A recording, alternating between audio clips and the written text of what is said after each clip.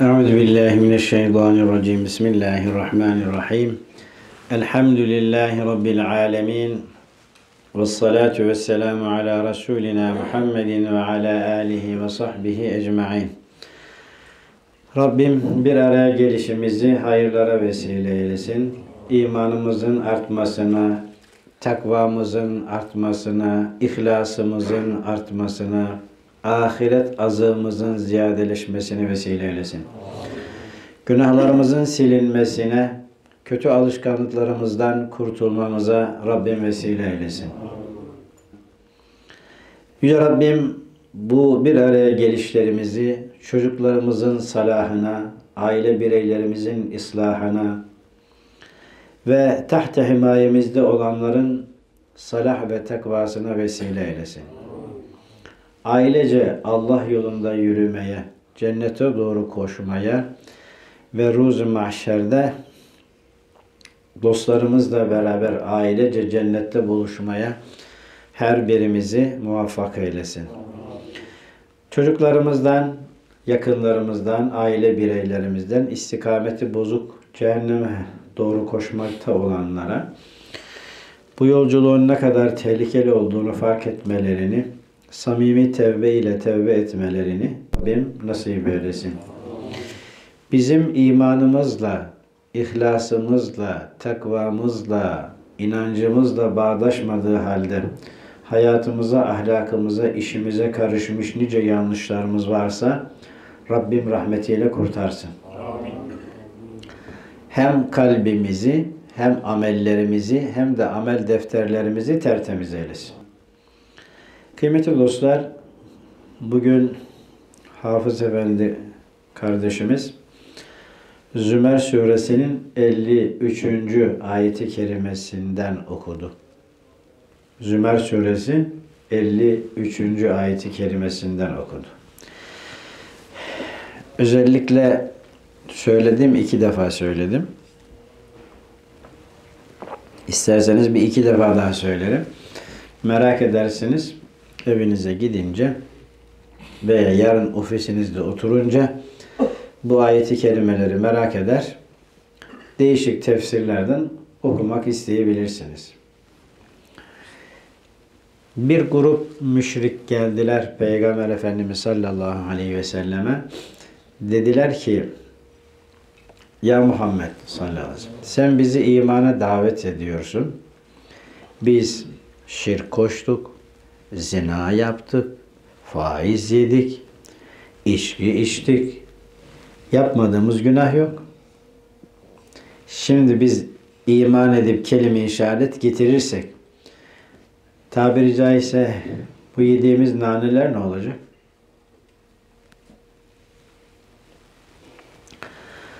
Bunun üzerine Zümer suresinin işte 53. ayeti kerimesi nazil oldu. Rabbimiz şöyle buyuruyor. Kul Habibim sen ümmetine benim de kullarıma şunu söyle. Ya ibadiye ey kelime-i şehadet getirerek bana iman etmekle bana dostluk şerefini kazanan kullarım. Bir defa şirkten çıkması, küfürden çıkması lazım. Buyurun. Eşhedü en la ilahe illallah ve eşhedü enne Muhammeden abduhu ve resuluh. Rabbim bu kelime-i şehadetin ehlinden bizi dünyada ve ahirette ayırmasın. Amin. Bu kelime-i şehadete layık birer cemaat olmaya da her birimizi muvaffak eylesin.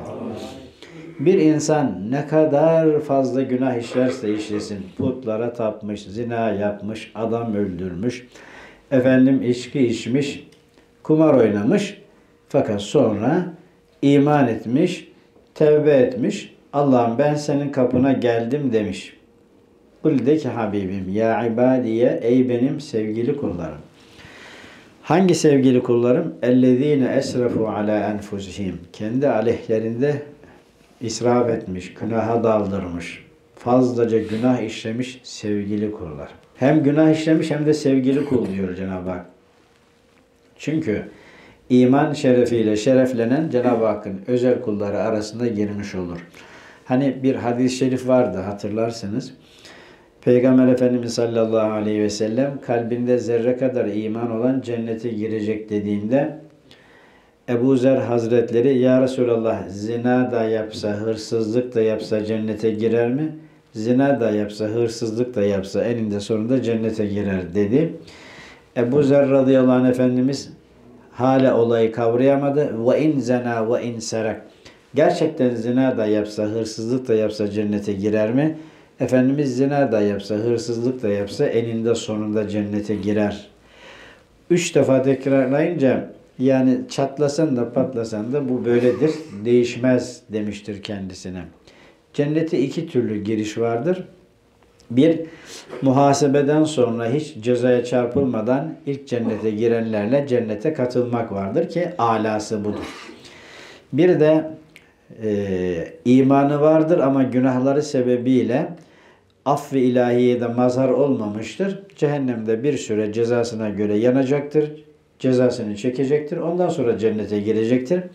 Ama sonuçta kafirler gibi ebedi cehennemde kalmayacaktır. Bu insan yine cennete girmiş olacaktır. İşte burada 53. ayet-i kerimesinde ey günaha daldırmış olan kullarım la taknatu min rahmetillah Allah'ın rahmetinden ümit kesmeyin diyor. Şimdi kıymetli dostlar e, isyanda zirveyi yakalamış kimdir diye bize sorsalar her birimizin aşağı yukarı Firavun diyesimiz gelir. Doğru mu? Yani sadece Allah'a inanmamayı koyun bir tarafa ben en büyük Rabbenizim diyerek ilahlık iddia etmiş olan birisidir. Astıkları, kestikleri masum çocukların sayısını Allah bilir. Cebrail aleyhisselam Peygamber Efendimiz sallallahu aleyhi ve selleme der ki ya Muhammed sallallahu aleyhi ve sellem o Firavun denize geldiği zaman seni e, Musa Aleyhisselam'ı kovalarken denize geldiğinde ben onun atını denize bir an önce sokmak için öyle manavralar yaptım, öyle manavralar yaptım ki bir an önce denize girsin de boğulsun.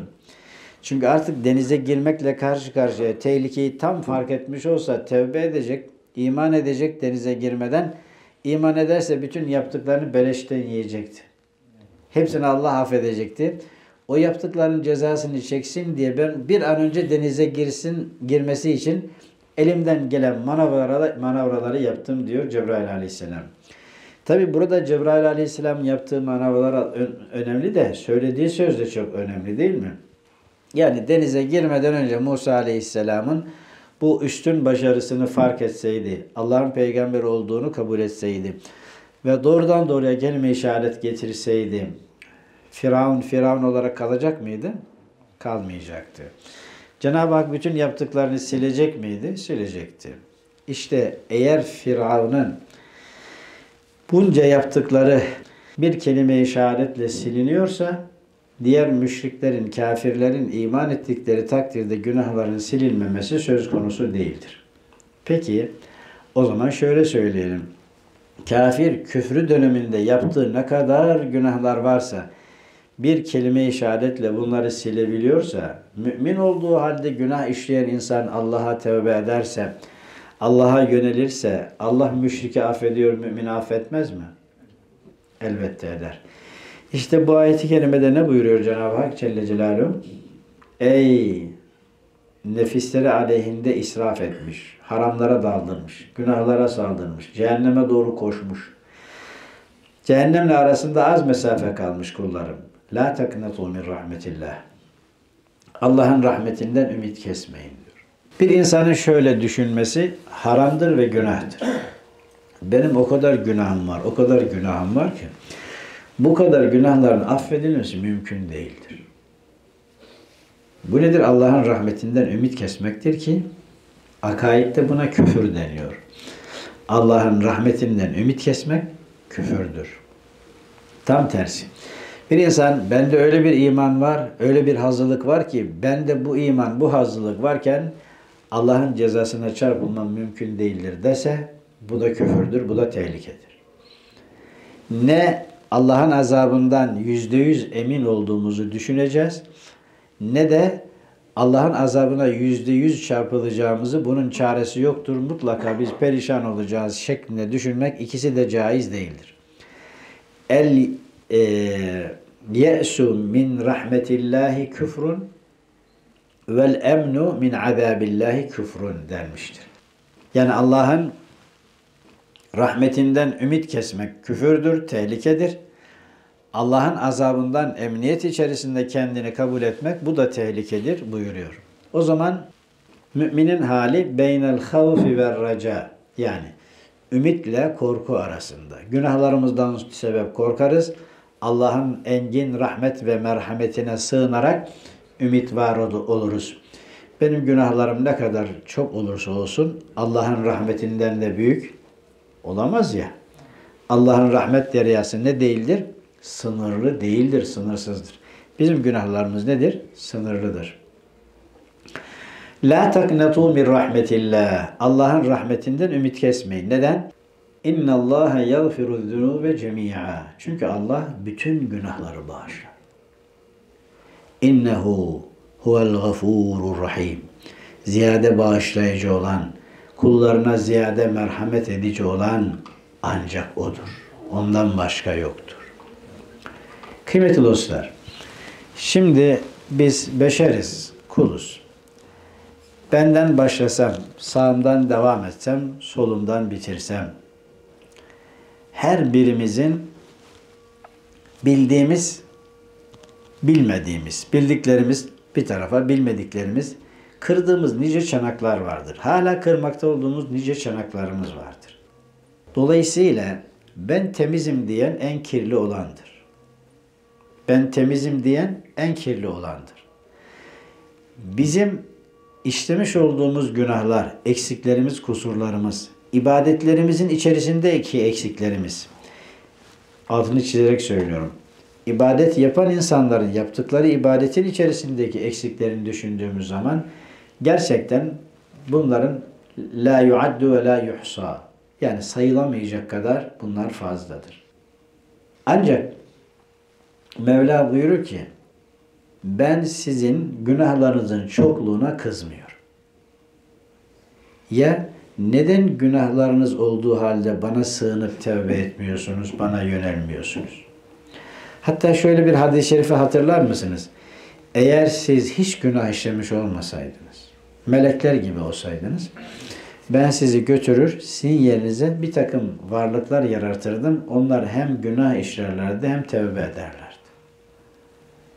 Yani bu günaha teşvik için söylenmiş bir cümle değildir. Yanlış anlamayalım burasını. Bu şu demektir. Cenab-ı Hakk'ın gafur sıfatı var mı? Yani bağışlayıcı. Peki ortada hiç günah olmasaydı neyi bağışlayıcı? Hani diyelim ki biz zengin olsak, zekat verecek olsak, zekat alacak kimse yoksa ortada zekat vermek ne işe yarayacak? Kime vereceksin ki? Zekat verebilmek için zekat alacak birileri olması lazım. Allah bağışlayıcı olabilmesi için bağışlanacak birileri olması lazım. Dolayısıyla bizim işlemiş olduğumuz günahlar zaten kuldur beşer, elbet şaşar, eyler hata, dörder beşer. Mevla Celle Celaluhu'dan başka her varlığın hatası olabilir. Peygamberler masumdurlar. Yani Allah Celle Celaluhu onları korur. Örnek olmaları gerektiği için. Ama buna rağmen inna fetahna leke fethan mubina. Habibim biz sana apaçık bir fethi, Mekke'nin fethini nasip ettik. Mekke fethedilecektir. Bu bitti. لِيَغْفِرَ لَكَ اللّٰهُ مَا تَقَدَّمَ مِنْ ذَنْبِكَ وَمَا تَأَخَّرَ Geçmiş gelecek senin kusurlarına bağışlanacaktır diyor. Kime söylüyor bunu? Masum olan Peygamber Efendimiz sallallahu aleyhi ve selleme söylüyor. Kıymetli dostlar, günahlarımız ne kadar çok olursa olsun, denizlerin köpükleri kadar da olsa Mevla diyor ki ey kendi aleyhinde israfa düşmüş, haramlara, günahlara saldırmış. Cehenneme gitmek için sol şeridi kapatmış, kimseye kaptırmıyor. Devam ediyor. Ey cehenneme doğru koşmakta olan, haramlardan kendini bir türlü kurtaramayan kullarım. La teknatu min rahmetillah. Allah'ın rahmetinden ümit kesmeyin. İnna Allah yaghfiru zunuba cemi'a. O bütün, bütün günahları bağışlar. İnnehu huvel gafurur rahim. O ziyade bağışlayıcı ve ziyade merhamet edicidir. Bir başka ayet-i kerimesinde şöyle buyuruyor. Ve huvellezî yakbalu tevbete an ibadihi ve ya'fu anis seyyiati ve ya'lemu ma tef'alun. Allah öyle Allah'tır ki kulların tevbesini kabul eder. Allah'ım pişman oldum, senin kapına geldim diyene hoş geldin, sefa geldin der. Ve ya'fu anis kötülükleri siler. Ve ya'lem ma tef'alun yaptıklarınızı da bilir. Ve yestecibu ellezine amenu ve amilus salihati iman edip salih amel işleyenlerin ya Rabbi demesine buyur kulum cevabını verir. Ve yeziduhum min fadlih fazl-ı kereminden de onlara yaptıkları amellerden çok daha fazlasını mükafat olarak verir buyuruyor. Bu 53. ayeti kerime anlaşıldıysa 54'e geçeceğim. Ne diyor 53. ayeti kerimede Rabbimiz Celle Celal Habibim benim adıma harama günaha daldırmış olan kullarıma de ki ey Allah'ın harama günaha daldırmış cehenneme doğru koşmakta olan kulları. Günahlarınızın çokluğu sebebiyle Allah'ın rahmetinden ümit kesmeyin. Allah bütün günahları bağışlar. Yeter ki sen tevbe et. O ziyade bağışlayıcı, ziyade merhamet edicidir. Biliyorsunuz kıymetli dostlar, tevbelerde kul hakkı olan yerlerde kul hakkının ödenmesi gerekir. Değil mi? Kul hakkı olan yerlerde kul hakkının ödenmesi gerekir. Bu arada şunu da söyleyeyim size. Hacca ve umreye gittiğimiz zaman yapılan dualar var. Tavaflarda yapılan dualar var. O şaftlarda yapılan dualar var. O dualardan birisinde ne diyoruz biliyor musunuz? Allahümme in kâne leke Allahümme inne leke aleyna hukuken kethireten fîmâ beynena ve beyne halkik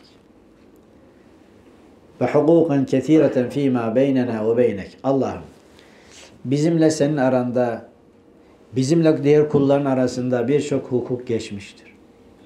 Sana karşı yanlışlar yapmışızdır. Kul, kullara karşı da yanlışlar yapmışızdır. Allah'ım ma kâne leke minha feğfirhu lena. Seninle aramızda yani sana karşı yaptığımız kusurları affeyle. Sana iltica ediyoruz. Kabe'nin hürmetine o günahlarımızı ma kâne li halqike ama kullarınla aramızda da yanlışlarımız olmuştur. Fetehammelhu anna. O kullara karşı ödeyeceğimiz borcumuzu sen bizim adımıza üstten sen kendin öde Allah'ım diyor. Fetehammelhu anna ve agnina bi halalike an haramik. Harama bizi muhtaç etme. Helalınla yetinenlerden, helalınla zengin olanlardan eyle diyoruz. Yani şöyle diyelim kardeşler. Benim Ahmet'e, Mehmet'e borcum var. Bunu ödemem lazım. İmkanım varsa bunu ödeyeceğim. Ama Ahmet ölmüş, Mehmet ölmüş. Varislerini ödemem lazım.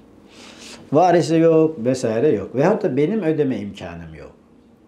O zaman ben Rabbime yalvaracağım. Allah'ım falanca bildiğim insanlar var. Bilmediğim insanlar da olabilir. Onların bende hakkı olabilir. Allah'ım ne olursun ben sana yalvarıyorum. Benim onlara yapacağım ödemeyi sen üstten rahmetinle fazl-ı kereminden öde. Yalvarıyoruz. Mesela ahiret gerçekleşti. Ahmet'in benden 5 lira alacağı var. Allah Celle Celaluhu Ahmet'e dese ki bu Ali sana verirse 5 lira verecek. Ben verirsem 5 bin lira vereceğim. Hangisini istersin? Ne dersiniz? Hangisini ister? Bir de Allah verirse 5 lira yerine 5 bin lira vermez. Onun hazinesi sınırsız olunca karşıki tarafı gerçekten memnun edecek kadar vermiş olur. Tabi varise ödenirken de usulüne göre ödenmesi lazım. Mesela diyelim ki bizim adama 5 bin lira borcumuz vardır. İki tane varisi vardır. İki tane oğlu varsa birisine 2500 lira, birisine 2500 lira vermek lazım. E, veyahut da yani varislerin eşit bir şekilde vermek lazım. Birisine veriyorsak diğerlerinde haberi olması lazım. Çünkü bir tanesi götürebilir malı. Halbuki hepsinin hakkı var orada. Öyle oluyor. Şimdi kıymetli dostlar demek ki tevbede kul haklarını ödemek lazımdır. Biz ödeyebildiğimiz kul haklarını mutlaka ödemeliyiz. Bu tevbe olmuş oluyor. Efendim bunun dışındaki diğer günahlardan pişmanlık, nedamet bir daha yapmamaya karar vermek tevbedir. Bütün bunlar yani tevbe gerçekleştiğinde Cenab-ı Hak vaat ediyor. Ve huvellezî yekbelü tevbete an ibâdî. Kulların tevbesini kabul eder diyor. Bitti o iş. Burada da ne diyor? Allah'ın rahmetinden ümit kesmeyin. Şüphesiz Allah bütün günahları bağışlar. Zira o ziyade bağışlayıcı ve merhamet edicidir. Peki bir sonraki bir bu da şunu söyleyeyim. Peygamber Efendimiz sallallahu aleyhi ve sellem bu ayeti kelime ile ilgili ne dedi biliyor musunuz? Dünyanın hepsini bir tarafa koyun. Bu ayeti kelimeyi bir tarafa koyun. Ben bu ayeti seçerim diyor. Yani bu ayet bütün dünya ve içindekilerden daha değerli bir ayet. Herkese kapıyı açıyor. Gelin kullarım gelin diyor. Ey günaha daldırmış kullarım gelin gelin. Rahmetimden ümit kesmeyin. Ben sizi rahmet deryalarımı açacağım diyor. Bütün günahkar insanları nereye davet ediyor? Cennete ve cemalullah'a davet ediyor. Bütün dünyadan daha değerlidir benim için bu ayeti kerime diyor. Peygamber Efendimiz sallallahu aleyhi ve sellem. Kimin adına bu ayeti kerimeyi çok sevmiş? Hatta Kur'an-ı Kerim bir tarafa, bu ayet bir tarafa. Bizim gibi günahkar insanlar adına Efendimiz sallallahu aleyhi ve sellem bu ayeti kerimeye bu kadar efendim e, değer vermiştir tabiri caizse. 54. ayeti kerimeye geliyoruz. İla rabbikum ve eslimu lehu min qabli en ye'tiyekumul azab thumme la tunsarun. Kullarım ben size rahmet kapılarını açtım ya. Şimdi diyorum ki size Rabbinize yönelin. Ona teslim olun. O ne derse onu yapın. Azap size ansızın gelir, sonra yardım olunmazsınız haberiniz olsun. Yani siz Mevla'ya sırtınızı çevirirseniz, Allah'a teslim olmazsanız, tak beklemediğiniz bir anda azap gelir, ondan sonra da yardım olunmazsınız. Ben size diyorum ki ansızın size azap gelmeden önce Rabbinize yönelin ve ona teslim olun. Allah'a yönelmek imanla olur. Teslim olmak amelle olur. Demek ki Allah'a yönelip imanla yöneleceğiz, amelle teslim olacağız. Haramlardan sırtımızı haramlara sırtımızı çevirmiş olacağız. İbadetlere yüzümüzü çevirmiş olacağız. Efendim kimin adamı olduğumuz belli olacak. Muhammed Mustafa'nın adamıyız sallallahu aleyhi. Kur'an'ın adamıyız biz. Bu belli olacak. Kur'an yolcusuna yakışır tavır ve davranışlar neyse onlar bizim hayatımızda olacak. Ne diyor 54. ayet-i kerimede? Azap size gelip çatmadan önce Rabbinize yönelin ve ona teslim olun. Eğer böyle yapmazsanız sonra yardım olunmazsınız haberiniz olsun. 55. ayet-i kerimeye geçiyorum. وَاتَّبِعُوا اَحْسَنَ مَا اُنْزِلَ اِلَيْكُمْ مِنْ رَبِّكُمْ مِنْ قَبْلِ اَنْ يَيْتِيكُمُ الْعَذَابُ بَغْتَةً وَاَنْتُمْ لَا تَشْعُرُونَ Farkına varmadan ansızın size azap gelebilir haberiniz olsun. Farkına varmadan ansızın size azap gelmeden önce Rabbiniz tarafından size indirilen o güzelim ayetlere, güzelim nasihatlere ittiba edin. Onlara kendinizi uydurun. Şimdi gidiyoruz terziye. Diyoruz ki bana şu kumaştan bir elbise dik diyoruz.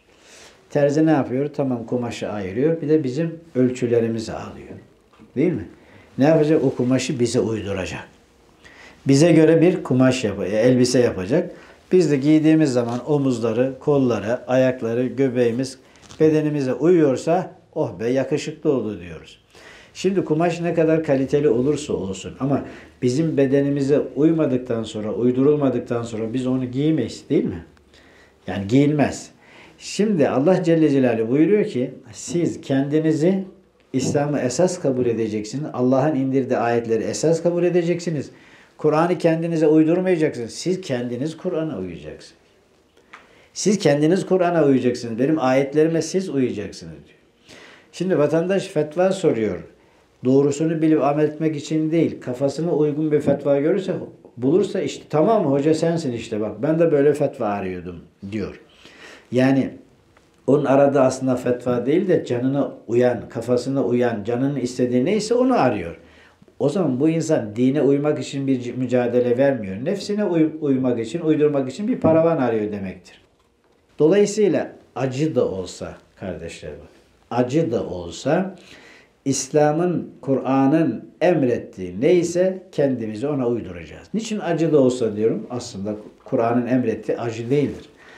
Ama bizim hayat alışkanlıklarımız bizi morfinleştirdiyse yani Kur'ani bir hayattan uzaklaştırdıysa, alışkanlık haline geldiyse, alışkanlık haline gelen şeylerden kurtulmak kolay değildir. Şimdi aşırı derecede sigara tiryakisi olan bir insana sigarayı bırak demek çok mu kolaydır? Aynı şekilde içkiye muhtela olan bir insana, tiryaki haline gelmiş bir insana bunu bırak demek çok mu kolaydır? Zinaya alışmış, kötü yola alışmış bir insana bunu bırak demek gerçekten böyle hani bir bardak suyu içiyorum, içmiyorum demek kadar kolay mıdır? Elbette değildir. Onun için diyorum acı da olsa biz kendimizi ne yapacağız? Allah'ın indirdiği ayetlere uyduracağız. Ayetleri kendimize uydurmayacağız. Sen şimdi başına bela almak istiyorsun. Efendim krediye bulaşmak istiyorsun. Kendine göre fetva arıyorsun. Kime sorsam, İsmail Ağa'ya sorsam fetva vermezler. E, Ali Hoca'ya sorsam fetva vermezler. Kime sorayım? Kafana göre müftü arıyorsun. Aramana gerek yok. O zaman kendi kendine müftü ol. Aramana gerek yok. Kendi kendine müftü ol. Diyorsun ki ben İsmail Ağa sorarsam bana fetva vermez. Peki İsmail Ağa ayrı bir dini mi var? Haşa. Ali Hoca'ya sorarsak o fetva vermez. Bakın arkadaşlar bir fetva vardır bir de tekva vardır. Bize sorduğunuz veya İsmail Ağa sorduğunuz tekva değildir, fetvadır. Fetva ise bunu dünyanın neresine sorarsanız sorun, kitaptan anlayan insanlar aynı şeyi söylemesi lazım. Eğer bu işin hem fetva yönü hem tekva yönü varsa o zaman sana fetva veren der ki helal bu helaldir veya haramdır ama işin tekvası da budur. Yapmanı tavsiye etmem veya yapmamanı tavsiye etmem falan. E, tekva yönünü ayrı söyler. Fetva sorulan kişi, fetva soran kişiye tekvadan cevap verilmez. Fetva soran kişiye helal midir, haram mıdır, caiz midir, değil midir? Caizdir veya değildir, helaldir veya haramdır. Bu fetva verilir. E, dolayısıyla fetvanın takvası ve fetvası olmaz. Fetva fetvadır, helaldir, haramdır, caizdir, değildir. Net bir şekilde bunun cevabı fetvadır. İşin takva boyutu başka bir şeydir. Şüpheli şeylerden, şüpheli şeyler haram mıdır? Haram değildir. Ama takva nedir? O şüpheli şeylerden kaçınmaktır. Açık bir faiz vardır. Doğrudan doğruya o haramdır. Faiz değildir ama faize benziyorsa ondan takva olarak sakınman lazım. Fetva olarak aynen faiz gibidir diyemezsin ki ama takva olarak sakınman lazım. Dolayısıyla 55. ayeti kerimede Cenab-ı Hak ne buyuruyor Celle Celaluhu? Rabbiniz tarafından size indirilenlerin en güzellerine uyun, ittiba edin. Azap ansızın size gelmeden ki siz farkına varmazsınız azabın geldiğinde. Yolda giderken bir de kendini tırın altında bulursun. Efendim yolda giderken uyukladın, bir de baktın ki yoldan aşağı takla atmaya başladın. E ondan sonra yapacak bir şeyin kalmadı ki. Bundan sonra ne yapabilirsin? Yapacak hiçbir şeyin yok. Yani illa azap deyince illa deprem olması şart değil yani. Her insanın başına gelebilecek olan felaket nedir? Bir sıkıntıdır. Artık bir şey yapamayacak hale gelirsin. Böyle bir durumla karşı karşıya kalmadan yapılması gerekeni yap. Allah'ın indirdiği en güzel ayetlere ittiba et dedi. Bu kaçıncı ayet arkadaşlar? 55. 56'ya gelelim. Diyor ki Allah Celle Celaluhu. En tekule nefsun ya hasrete ala ma farrattu fi cemillahi ve in kuntu mines sahirin. Bakın kullarım. Bu dediklerimi yapmazsanız sizden biriniz tevbe etmeden, bu dediklerimi yapmadan tak diye ölüme, ölümle karşı karşıya burun buruna gelirse o zaman siz ne diyeceksiniz? Eyvah ben Allah'ın yanında ne kadar geri kaldım ya. Eyvah. Bankada hesapta iyi paralarım vardı. Tapularda iyi tapularım vardı. Efendim imkanlarım çok iyiydi. İnsanlar yanında da benim konumum iyiydi ama Allah'ın yanında ben hiçmişim ya. Allah'ın yanında hiçmişim ya. Şimdi kıymetli dostlar, bizi tanıyan insanlar efendim çevremizde bize itibar ederler. Bizi hiç tanımayan insanlar arasında gitsek sarı çizmeli Mehmet Agi. Kimse bize itibar etmez. Doğru mu? Peki biz varlığımızla, konumumuzla, yaptığımız işlerle beraber etrafımızda bir e, itibar görüyoruz. Ama tak diye hazırlıksız gittiğimizde kendimizi Allah'ın huzurunda göreceğiz. Eyvah! Ya hasreta vay bana bey. Bu kadar ömür yaşadığım, geldiğim yerle ilgili bir şey hazırlığım yok. Hiç hesapta param yok. Efendim iflas etmiş bir müflisim. Eyvah ben ne kadar geri kalmışım, ben ne yapmışım? Hayatımı hiç bana lazım olmayacak şeylerin peşinde mücadeleyle çürütmüşüm. Kendime lazım olanları geride bırakmışım diye söylerseniz söyleyip, söyleyip durursunuz. Hatta ve in kuntu lemines bırakın e, bir şeyler yapmayı bir de doğru yapanlarla alay ediyordum. Eyvah dersiniz.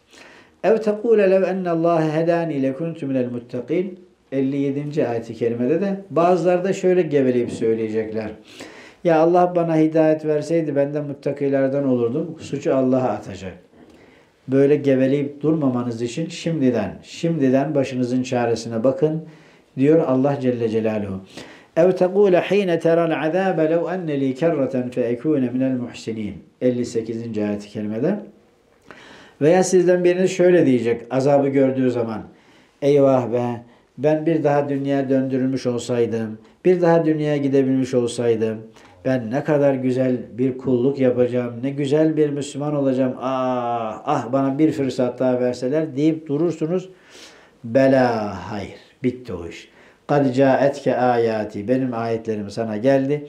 Fekezzebte biha yalanladın ve sekberde kibirlendin ve künte minel kafirin. Kafirlerden oldun. Söyleyecek hiçbir şeyin yoktur. Cevabı kendisine verilmiş olacak. Kıymetli dostlar gerçekten büyük müjdelerle başlayan bu ayeti kerimeler ikazlarla, uyarılarla devam etti. Herkesin anlayacağı dilde yapılan ikazlar bunlar. Biz de bunları can kulağıyla inşallah kalbimize, kafamıza yerleştirelim. Rabbimizin bu nasihatlerini kendimiz için değerlendirelim. Aile bireylerimiz için değerlendirelim. Rabbim rahmeti rahmanına, mağfireti subhaniyesine erişen bahtiyar kullarından eylesin. Allah yar ve yardımcımız olsun diyorum. Hepinizi Allah'a emanet ediyorum. Bu geçtiğimiz pazar günü bir düğünümüz oldu. Cenab-ı Hak hepinizden razı olsun. Güzel bir e, katılım oldu. Güzel de bir program oldu. İnsanlarla güzel oluyor. Siz, sizlerle beraber güzel oluyor olanlar. Ben e, katılan bütün arkadaşlarımıza teşekkür ediyorum. Cenab-ı Hak çocuklarınızın mürüvvetini görmeyi her birinize nasip eylesin. Torunlarınızın mürüvvetinde görmeyi nasip eylesin. Hem çocuklarımızı hem torunlarımızı hem yeğenlerimizi hepsini hayırlı eylesin. Damatlarımızı, gelinlerimizi de Rabbim hayırlı eylesin. Allah yolunda ailece koşmaya, cennette ailece buluşmaya her birimizi muvaffak eylesin diyorum. Hepinizi Allah'a emanet ediyorum. Esselamu Aleyküm ve Rahmetullahi ve Berekatuhu.